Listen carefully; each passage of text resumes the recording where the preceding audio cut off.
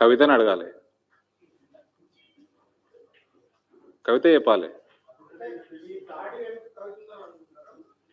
దాడి వెనక CM camp office ఉన్నది. మా కమిషనర్ ఆఫ్ పోలీస్ ఉన్నాడు.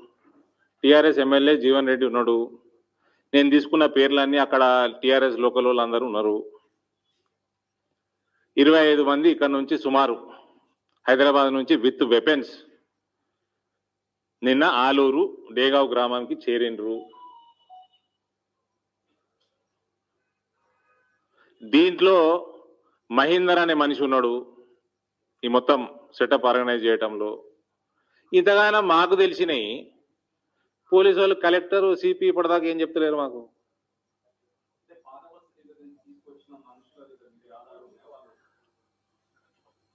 లేవని పోలీసులు ఇప్పుడు మాకు ఇన్ఫర్మేషన్ వచ్చింది.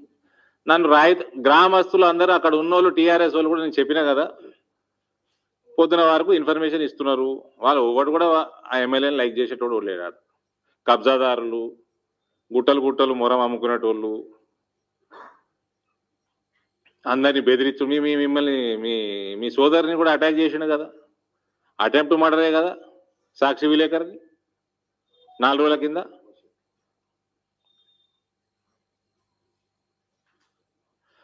పోషెట్టి గారిని ఆ పోషెట్టి గారిని మేము ఎప్పటి నుంచో చూస్తున్నాం. చాలా సౌమ్యుడు. విఠలరావు జడ్పీ చైర్మన్ జీవన్ రెడ్డిని అన్న మాటలు రాసిండు ఆయన. అంతే. జడ్పీ చైర్మన్ జీవన్ రెడ్డిని అన్న మాటలు రాస్తే చంపేస్తారటండి రైతులు పని చేసుకుంటారు పొలాలలో పని చేసుకున్న రైతులు ఉరికొచ్చి కాపాడిన ఆయన. ఇక ఇప్పుడు ఎంపీ కాడికి కూడా గదే పరిస్థితి పోలీసు వాళ్ళు తీసుకుపోయి ఇరికిస్తున్నారు మమ్మల్ని so what safety do I have in my constituency so what safety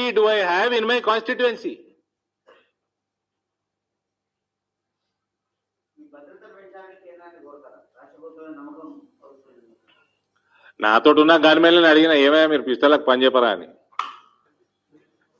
sir ఎవరన్నా తల్వార్లు గిల్వారు తెచ్చి పొడిసే టైం వరకు మేము షూట్ చేయం సార్ అంటుండు.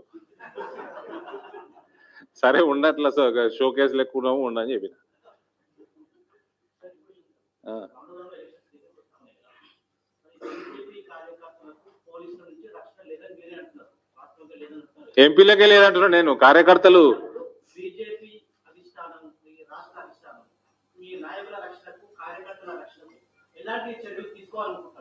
దాని ఆన్సర్ బండి సంజయ్ గారు చెప్పాలి.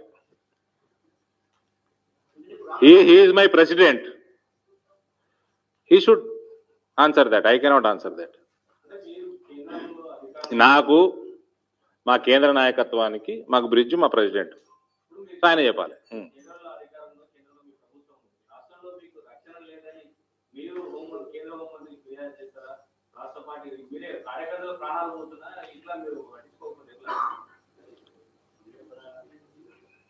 నాకు మా రాష్ట్ర అధ్యక్షుడు చెప్పాలి ఆన్సర్ చెప్పాలి.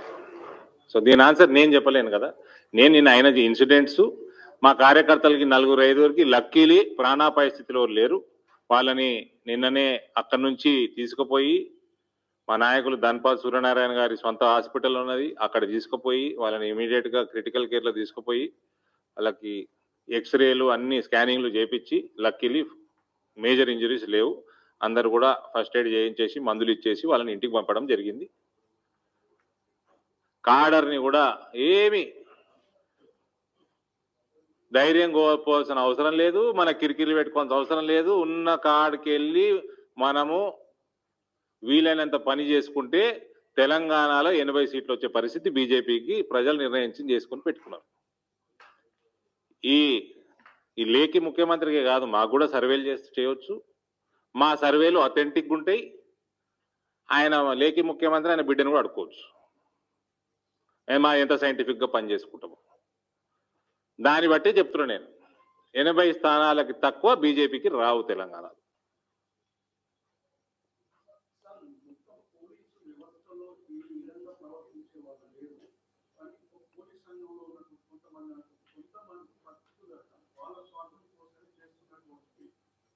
పోలీస్ అధికారులు వాళ్ళ వల్ల మాకు కూడా చెడ్డ పేరు వస్తుంది అని చెప్పారు వాళ్ళ పోలీస్ సంఘాన్ని మీరు ఏమైనా కలిసే అవకాశం ఉందా డీజీపీకి రిప్రజెంటేషన్ ఇచ్చే అవకాశం ఉందా? That Sanjay garu will decide because this is now state party has to take up where to go I have heard that state party has decided to go to governor.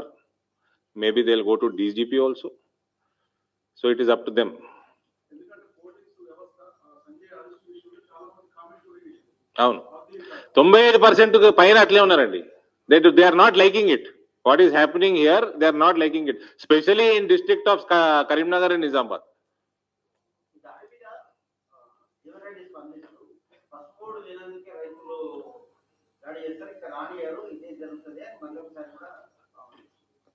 పసుబోడు తేనియకుండా తేకుండా నేను వేరే board తెచ్చిన. Consolidated board తెచ్చిన. ఆ బోర్డుకి నేను డబ్బులు తెచ్చిన. ఆ బోర్డు బ్రహ్మాండంగా పనిచేస్తున్నది. మేము తీసుకోవాల్సిన గవర్నమెంట్ ఆఫ్ ఇండియా తీసుకోవాల్సిన చర్యలన్నీ తీసుకున్నాం. ఇంపోర్ట్ మీద ఎక్స్పోర్ట్ మీద లాజిస్టిక్స్ ట్రాన్స్పోర్టేషన్ కనెక్టివిటీ అన్నీ చేసినాం. ఇవాళ పసుపు ధర పదివేలు ఉంది. మీ లేఖినా కొడుకు ముఖ్యమంత్రి పీఠం ఎక్కినాక రెండు సంవత్సరాలు పసుపు ధరలు పెరిగినాయంటే రెండు వేల ఇరవై ఇరవై ఒకటి రెండు వేల ఇరవై ఒకటి ఇరవై రెండు. ఇరవై ఇరవై ఒకటిలో ఎనిమిది ఎనిమిదిన్నర వేలు యావరేజ్ ప్రైస్ వచ్చింది. అంతకంటే ముందు ఐదు వేలు కూడా లేదు.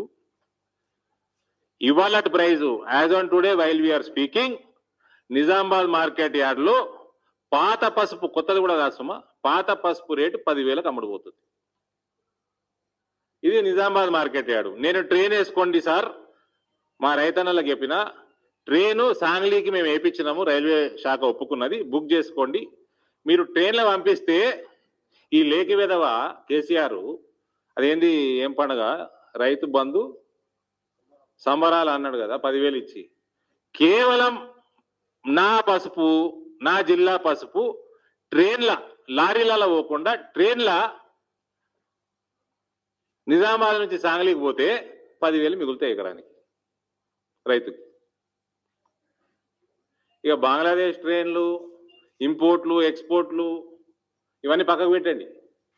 స్పైస్ బోర్డు దానికి మేము తీసుకొచ్చిన ముప్పై కోట్ల budget for three years. Today ఆ పేపర్ ఉందో? సో పది రీజనల్ ఆఫీసులు ఉన్నాయి spice బోర్డువి. Nizamabad is the most powerful because it is extension centre which reports to the ministry direct. It doesn't report to spice board headquarter. It it has the power to report to the commerce ministry. వేరే తొమ్మిది regional ఆఫీసుల కన్నా six times fund నా దగ్గర ఎక్కువ వచ్చింది పసుపు కోసం ఎక్కువ వచ్చింది I have I'm proud what I have done రైతు వేదికలోళ్ళు నిన్ననే ఇచ్చేసిండ్రు. ఇవాళ జగిత్యాల కూడా జగిత్యాలకు సంబంధం లేదు. నిజామాబాద్ వాళ్ళు అయితే నిన్ననే ఇచ్చేసారు మాకు సంబంధం లేదని. వాళ్ళు కూడా ఇస్తున్నట్టు నా సమాచారం. పసుపు రైతుల దగ్గరికి ముఖ్యమంత్రిని తీసుకురా జీవన్ రెడ్డి. నువ్వు కూడా నువ్వు రా. ఆ నూట డెబ్బై ఎనిమిది మంది నామినేషన్లు వేసిన దగ్గరికి ముఖ్యమంత్రిని తీసుకురా. నూరా ప్రశాంత్ రెడ్డిని తీసుకురా జిల్లా మంత్రిని. నేను ఒక్కడిని వస్తా. నేను ఆల్రెడీ పోయినా. నేను ఆల్రెడీ పోయి నాలుగైదు గంటలు చర్చించి వచ్చిన వాళ్ళతోటి. నేను ఇలా బలగుద్ది చెప్తున్నా. పసుపు ధరలు వాడనే పడవు. I will take care of it. పడ్డాయి అనుకోండి అనుకోండి రెండు వేల పద్నాలుగు టీఆర్ఎస్ మేనిఫెస్టోలో ఎంఐఎస్ పథకం కింద మంచి రేట్లు వచ్చేటట్టు ఇప్పిస్తామని ఉన్నది. మా అగ్రికల్చర్ మంత్రికి లోక్సభలో గదే మాట చెప్పాడు మీరు ఎంఐఎస్ కింద అడగారు మేము పైసలు ఇస్తామని. ఈ సంవత్సరం పసుపు రైతులకి అతి వర్షాల వల్ల పంట దిగుబడి తక్కువ వచ్చింది ఈ లేఖి ముఖ్యమంత్రికి నేను రాసిన రైతులు రాసిండ్రు ఎమ్మెల్యేలను అడుక్కున్నారు పంట నష్టపరిహారం ఇవ్వవా అది కూడా ఎంపీ చేస్తాడా? నీకు అగ్రికల్చర్ ఇది లేదా? ఈ ఆర్మూర్ ప్రాంతంలో ఈ టీఆర్ఎస్ వాళ్ళు చేయబట్టి పసుపు కంటే ఎక్కువ వరైంది ఈ మధ్య కొత్త కొద్ది కాలంలో. వరికి అడ్డగోలుగా తరుగు తీస్తుంటే ఎమ్మెల్యేని వచ్చిండా? నేను మీ అందరితోటి నేను సెప్టెంబర్ నుంచి మాట్లాడుతున్నా. వరి రీసైకిల్ దందా. సెప్టెంబర్లో ప్రెస్ మీట్ ఈడనే పెట్టిన రెండు సార్లు పెట్టినాడా నిజామాబాద్లో పెట్టిన అనేక మార్లు దాన్ని టేకప్ చేసిన. ఇవాళ అదే మన కరీం కరీంనగర్ కమిషనర్ గారు సత్యనారాయణ గారు ఆయన్నే దొరికిండ్రని చెప్తున్నారు. బాన్స్వాడల ఇరవై కోట్ల స్కామ్ మా పోచారం శ్రీనివాస్ రెడ్డి గారి ఆధ్వర్యంలో రీసైకిల్ దందా నడుతున్నదని సారి చెప్తున్నారు. దొరికినాయి. రైస్ మిల్లు లేవు మిషనరీ మిషనరీ లేదు ఉట్టి షెడ్ ఉన్నది బోధన్ ప్రాంతంలో. మళ్ళీ వాళ్ళందరూ ముస్లింలు కొత్త కొత్తగా పెట్టుకురు షెడ్లు వేసుకురు లోపల మిషనరీ లేదు కానీ వడ్లు అక్కడ అలాట్మెంట్ అవుతున్నాయి ఇవన్నీ పేపర్లలో మీ పేపర్లలోనే వచ్చినాయి. వాళ్ళ వరి రైతుల దగ్గరకు పోదాం రమ్మను. కిరాయి గుండాలని పట్టుకొచ్చి కత్తులు కటార్లు పెట్టి రైతులు కత్తులు పట్టి తిరుగుతారండి రైతు ఉద్యమం ఎట్లున్నదో జీవన్ రెడ్డి కవిత నడితే చెప్తుంది.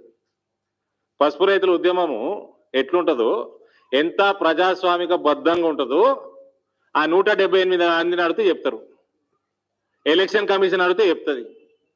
వరల్డ్ రికార్డ్ బుక్ తీస్తే తెలుస్తుంది. వికీపీడియా అది ఏంటి? నిజామాబాద్ ఎలక్షన్ రిజల్ట్ అని కొట్టుది. అది చెప్తుంది. ఎట్లుంటుందో పసుపు రైతులది.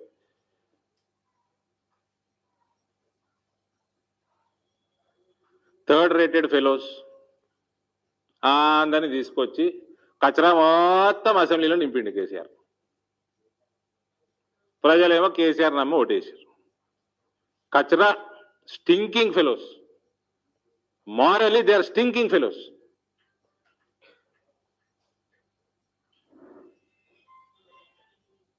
ఆ అసెంబ్లీ పాత అసెంబ్లీ కాదు కదా ఇప్పుడు? రాజశేఖర రెడ్డి గారు వాళ్ళందరూ ఉన్నప్పుడు. అదేనా? అదే హాలా? హాల్ వేరే లెక్క కనబడుతుంది అదే హాలా? ఎమ్మెల్సీ కొత్త కట్టుకుర్రా? ఆయన పాపం రాజశేఖర రెడ్డి గారు వీళ్ళందరినీ చూసి మళ్ళీ ఓడుచుకున్నా ఓడుచుకుంటాడు ఆయన.